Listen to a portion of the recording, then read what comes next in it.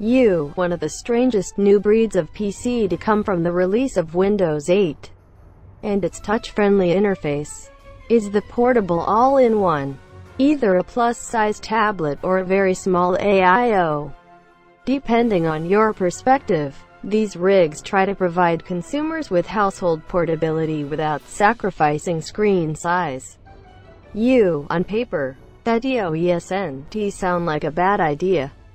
But it leads to two obvious downsides. Size and weight. Maneuvering a 20-inch slab that weighs as much as a gaming laptop isn't easy. Which makes these supposedly portable all-in-ones harder to move than you think.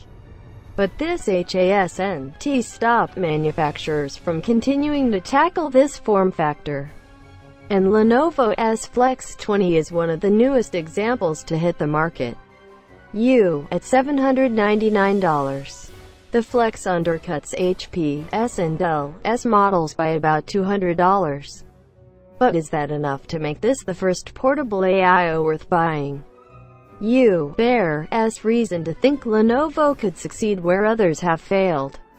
The company has led the touchscreen charge from the start with a wide variety of capable, convertible tablets. And Lenovo is the only company trying to compensate for some of Windows' deficiencies with a unique touchscreen interface known as Aura.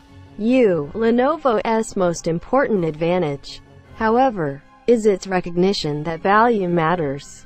The company usually offers impressive hardware at any given price, and the Flex 20 is no exception. Equipped with an Intel Core i3-4010U, 4 GB of RAM and a 500 GB hard drive. This system retails at $799, while most competitors sell for at least $999. Is this the first portable all-in-one that makes sense? You, Designing a system as a slate leaves little room for aesthetic flourish. And the Lenovo Flex 20 is no exception. From the front, the PC is little more than a 19 5 inches monitor with a rather large bezel along all sides.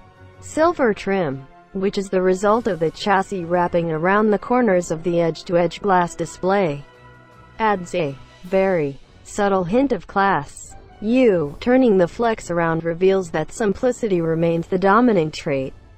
The silver shell which makes up the computer's body is broken up only by a chrome Lenovo logo and a slim stand that can be pulled out after moving a latch.